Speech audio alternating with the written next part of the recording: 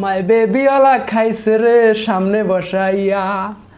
আমায় বেবিওয়ালা খাইছে রে। কি? কোথায় বসাইয়া? যাই হোক ভাই ব্রাদার, আপনারা যে যেখানে আছেন, ভালো থাকেন। এটাই কামনা করি। দেখেন ভাই, পনেরো তারিখ আসতেছে না। কনফার্ম, পনেরো তারিখ।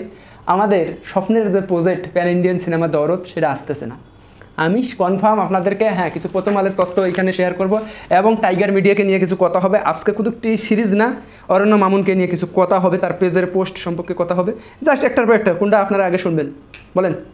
আগে কি প্রথম আলো নাকি টাইগার মিডিয়া নাকি অরণ্য মামুন? যাই হোক, আমি প্রথম আলোটাই আপনাদেরকে আগে শোনাচ্ছি। দেখেন ভাই, সত্য করে একটা বিনোদন জগতে একটা স্ট্যাটাস দিয়েছে প্রথম আলো যে মানে যেটা বলছে আর কি, আপনাদেরকে না দেখালে, পড়ে শোনালে বুঝতে পারবেন বিষয়টা। কি বলল? অরণ্য মামুন সাহেব ওরফে বাটপার, চাপাবাস কাবাস কুলাঙ্গার। তো আমাদের কুলাঙ্গার যে স্ট্যাটাস ওইখানে মানে প্রথম আলোকে যে সাক্ষাৎকার দিয়েছে, বিশ দেশে দরদ। পনেরো নভেম্বর একই সঙ্গে বিশ্বের বিশটি দেশে মুক্তি পাবে শাকিব খান, অভিনীত সিনেমা দরদ, নির্মাতা অরণ্য মামুন।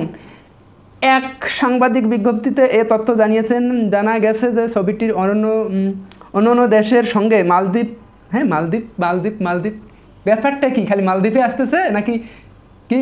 বাহারাল, অমুক তমুক ভক্কচক্কর এগুলো তো আসবে না? হ্যাঁ ভাই সবগুলো তো আসবে, একটু দেই, কী দিছে আর কি?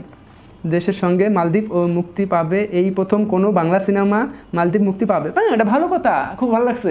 এই প্রথম বাংলা সিনেমা মালদ্বীপ না, শুধু এই প্রথম প্যান ইন্ডিয়ান সিনেমা, সেটা হলো দরদ, সেটাও আপনাদেরকে উল্লেখ করা উচিত ছিল, প্রথম আলো। এসব ভক্কচক্কর নিউজ করেন, আপনাদের কি মানে অরণ্য মামুন কি বলতে বাংলা সিনেমা নাকি প্যান ইন্ডিয়ান সিনেমা এটা? বুঝলাম না রে ভাই। আমাদের কি ঘোল খাওয়াই দিল নাকি? চাইলাম দুধ দিল কি? ঘোল। না, এই দুধের স্বাদ যদি ঘোলে মিটায় তাহলে তো হবে না। এ কি সাক্ষাৎকার দিয়েছে ভাই? আমার মাথা কাজ করতেছে না। মুক্তি পাবে। এই যে কী লাগছে? বাংলা সিনেমা, মুক্তি পাবে। ছবির, ছবিতে শাকিব খান ছাড়াও যে আছে সোনাল চৌহান, পায়েল সরকার, রাহুল দেব, হুম, সবগুলো আর কি। সবগুলা দিছে ঠিকঠাক। কিন্তু মাগার আমি বুঝলাম না। না না না, আমি আপনাদের মানতে পারলাম না। সেটা হলো, এটা কি বাংলা সিনেমা না? এটা প্যান ইন্ডিয়ান সিনেমা? আমাদেরকে বলা হয়েছে এটা বলিউডের একটা সিনেমা। এটা বাংলা সিনেমা আমরা না। হ্যাঁ আমরা বাংলা ভাষা ডাবিং হবে, আমরা বাংলাতে দেখতে পারব। বাংলা সিনেমা। তবে এটা গভীর বিশ্ব কি হবে? প্যান ইন্ডিয়ান সিনেমা মুক্তি হবে। এটা তো বাংলা সিনেমায় মুক্তি হবে না। তো দেখেন, ভাই ব্রাদার আমাদের সাথে এই বাটপাটটা কতটা, কতখানি বাটপারি করছে। দেখেন, এখানে তো বৃষ্টি দেশ বলছে, আমার পুরাই সন্দেহ আছে, বৃষ্টি দেশ না। এ যে মানে কি আর বলব? চকুলখোর টাইপের লোক। সে কি বৃষ্টি দেশের নাম উল্লেখ না করতো? অবশ্যই করতো। সে না করে শুধু মালদ্বীপ বলতেছে, অমুক তমুক ভক্কচক্কর হ্যাঁ ওর ওর কিছু পোস্ট আবার শোনাই ভাই। দাঁড়ান, আজকে খালি শুনবেনই। আমি বলব, আপনারা খালি একটু ধৈর্য ধরে শুনবেন। দেখেন, এক বা দুই দিন অপেক্ষা করতে হবে। রাইটস মানে রাইটস মানে কপি রাইট একটা মানে জটিলতা, ইচ্ছা থাকলেও যে গান আপলোড করতে পারতেছে না। মানে ওর ইচ্ছা থাকলেও গানটা আপলোড করতে পারতেছে না। ইস, কী সমস্যা রে। খুব মায়া লাগতেছে। খুব মায়া লাগতেছে তো দেখেন ভাই, তারপরে সব সমস্যা সমাধান করে ফেলছি। বাংলা, হিন্দি সব গানের আইপি মানে একটাই হবে। আইপি মানে এক, যে গানের মানে মূল মালিক কপিরাইট এটাই বুঝাইছে। বলে একটাই থাকবে, বাংলা এবং হিন্দিটা। তো দেখেন ভাই, এইখানে আমি যেটা এর আবুল তাবুল কথাবার্তা আমরা নাই বলি, টাইগার মিডিয়াতে কি একটা মানে আমাদেরকে একটা টোপ দিল, সেটা আপনার শুনলে একটু হাসবেন, আবার জিনিসটা খারাপও লাগে, সেটা হলো চট করে একটা গান ছেড়ে দেই। চট করে একটা গান মানে ওই আপার কথার সাথে সুর মিলেছে আপনারা তো ভাবছেন বিষয়টা, নাকি? ওই যে আপা বলছে, ভাইয়া, আমি দেশের কাছাকাছি চট করে ঢুকে যাব। সেই আফার ডায়লগটা এখানে দিছে। বলে, চট করে একটা গান ছেড়ে দেই। মানে কেমনে মাইরা দিল। যাক, ভালো লাগছে, ভাই, খুব ভালো লাগছে। টাইগার বিডিয়ার ডায়লগটা আমার খুবই ভালো লাগছে, কেননা ওই আফার সাথে মিলে গেছে। মানে এটাকে আপাকেও একটা বাস দেওয়া হয়েছে, ছোটোখাটো একটা বাস। এটা বেশি বড় না, ছোট্টখাটো একটা সিলেবাস দিছে এই লেখাটার মধ্যে। আর হ্যাঁ অরণ্য মামুন যে কথাগুলো আর টাইগার মিডিয়ার সাথে একটা চুক্তি হয়ে গেছে। টাইগার মিডিয়া অবশ্যই তার কাছে গান আছে। এই চুদুর বুদুর করলে গান ছাইরা দেবে ভাই, টাইগার মিডিয়ার যে রবি ভাই, যে মানে কর্ণধর আর কি, উনি যে ম্যানেজার, উনি মালিক রবি ভাই। তো রবি ভাই অনুরোধ করব, ভাই, আপনি গানটা ছাইরা দেন রাত্রেই। ও যা করবে আমরা দেখে নেব। ও মামলা করবে না, কি করবে আমরা দেখে নেব। ভাই, আপনার পাশে আমরা আছি, আপনি গানটা ছেড়ে দেন। চট করে গানটা ছেড়ে দেন। খুব ভালো লাগবে, খুব ভালো লাগবে। জাস্ট যেরকম স্ট্যাটাসটা দিছেন সেই লাগছে আমার কাছে মানে সেই লাগছে। চট করে একটা গান ছেড়ে দেই। কি? ব্যাপারটা বুঝতে পারছেন? খুব ভালো লাগতেছে না? আরে ভাই, খুব ভালো লাগছে। আর হ্যাঁ আমি তো খুবই হতাশ হই এখন। যেটা শুনলে আপনারাও হতাশ হবেন। এটা কি আদৌ কি আসলে প্রথম আলো যে কথা বলছে, ওটাই কি সত্য নাকি? এটা প্যান ইন্ডিয়ান সিনেমা না, এটা বাংলা সিনেমা হাই রে অরণ্য মামুন, তুই শালা, তুই যে বাটফাল, আল্লাহ। এরকম পরিচালক, আমার বাপের জন্ম দেখিনি। মানে এইরকম পরিচালক বাংলা সিনেমা পাড়ায় মনে নাই, এর মতো বাটপার পরিচালক। অরণ্য মামুন, তোরে আমরা একটা সময় মাথায় তুলে নিচ্ছিলাম কিন্তু তুই মাথায় থাকার যোগ্য না। তোর রাখবে কেমনে? সাকিব বিয়ান না একসময় তোর মাথায় তুলে নিয়েছিল। কিন্তু তুই তো মাথায় থাকার যোগ্য না। তুই পায়ের তলা ধরিস পায়ের তলা চলে যাবি। আর এরে, জুতা দিয়ে অনেকে পিড়াইতে এসছে, অনেকেই অনেক ধরনের কথাবার্তা বলছে। আরে ভাই, তার মান সম্মান থাকলে না মান সম্মান যাব? তার তো মান সম্মানই নাই। আসলে জুতা দিয়ে পিটাইলে কি আর বাজ দিয়ে পিটাইলে কি? এ তো একটা মান সম্মান যার মান সম্মান আছে, তার কথা বললেই তার মান সম্মান চলে যায়। আর এ তো মান সম্মান নাই।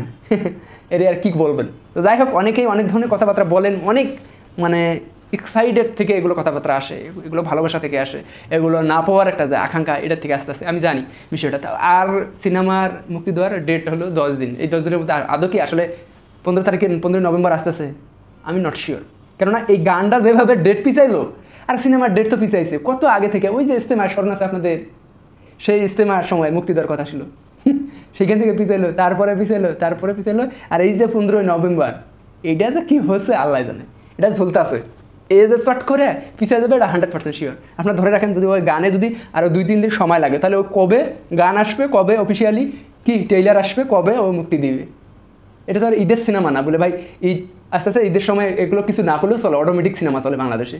তো ভাই, ঈদ ছাড়া আসতে গেলে একটা মানে ব্যাপার স্যাপার আছে, একটা লং টাইমের একটা ব্যাপার স্যাপার আছে সিনেমাগুলোর। হ্যাঁ এই সাফাবাস তো অনেকেই অনেক সময় বলছে চারশো সিনেমা হল প্লাস মুক্তি দেওয়া হবে। তো আসলে কি চারশো নাকি চারটা হল পায় সেটাও একটা বড় কথা। তো সব কিছু মিলে সেও হতাশে আছে। এইবার বেটা এমন জায়গায় একটা নিয়ে যা, দাঁড় করাইছেন আপনারা। সে পারতেছে না এইদিকে আসতে, পারতেছে না ওইদিকে যাইতে। এখন পারতেছে না সিনেমাটা মুক্তি দিতে। এখন ও মানে আমি জাস্ট অবাক হতেছি কখন জানি, আপনার ধৈর্য ধরেন কখন জানি, চট করে জেনে দেয়, বলে ভাই, সিনেমাটা মুক্তি পাবে সামনে মাসে এক তারিখে। আপনারা লিখে রাখেন, সিনেমাটায় পনেরোই নভেম্বর আসতেছে না, আমার কথার সাথে মিলিয়ে নিন। ঠিক আছে? আর যদি হয়ে যায়, তাহলে তো ভাই, কোনো কথাই নাই। তাহলে তো কোনো কথাই নেই। পুরা আমি খুশি, আপনারা সবাই খুশি, পুরা বাঙালি খুশি। পুরা জড়াই নেব তাকে বুকে, যদি হয়ে যায়। যাই হোক, গান দেহের যন্ত্রণা সব কিছু আমরা সিনেমা হলেই চেষ্টা বুঝে নেব নাকি? যাই হোক, অনেক কথাবার্তা বলা যায় এই লোকটাকে নিয়ে। আর কি বলব, লোকটাকে নিয়ে হাজারো প্রশ্ন উঠে গেছে। লোকটাকে নিয়ে আর যতই বলেন, সে একটা পচা এখন আলু হয়ে গেছে। এই পচা ওই যে আমাদের বড় বৌদি বলে না, বলে পচা আলু। তো পচা আলুরে যতই ঘুতাইবেন, যতই ইয়ে করবেন, ততই দুর্গন্ধ বার হব, ওখান থেকে ভালো কিছু আশা করা যায় না।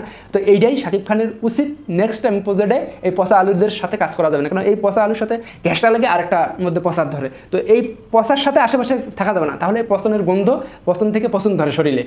ভাই, করোনা রোগটা ছোঁয়াছুঁই না, ওই যে চুলকানি ছোঁয়াছুঁই না, ঠিক আছে? এই পচনটা ছোঁয়াছুঁই বেশি। যাই হোক, যারা চুলকা তাদের পাশ থেকে একটু দূরে থাকবেন কেন তারা ছোঁয়া লাগলে আপনার গায়ে চুলকানি ধরবে। তো এই যে অরণ্য মামুন সেই হলো পচা আলু। যাই হোক, এই পচা আলু নিয়ে আর কিছু বলতে চাই না। আপনারা নেক্সট টাইম অবশ্যই আসতে আসে সব কিছু টাইগার মিডিয়াতে মনে আসবে। টি সিরিজের কথা ভুলে যান। আল্লাহ হাফিজ। ভালো থাকবেন। আর কিছু বলব না। আর হ্যাঁ বলে দেবেন না যার যার ধর্ম আগে, তারপরে কাজকর্ম। ইনশাআল্লাহ, যদি বেঁচে থাকি, দেখা হবে। তো মামুন রে, এই যে এটা দেখছেন না ভাই? এইটা এটা দেখছেন? তার পিছনে এটা দেওয়া হবে। তার জন্য আমি